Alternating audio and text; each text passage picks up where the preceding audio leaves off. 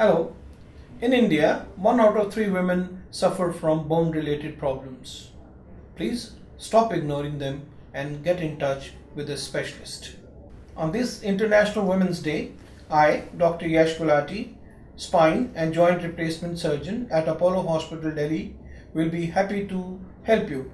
Please connect through Lybrate Ask the Specialist platform and pose any questions related to women's bone disorders please connect through Lybrate app or website.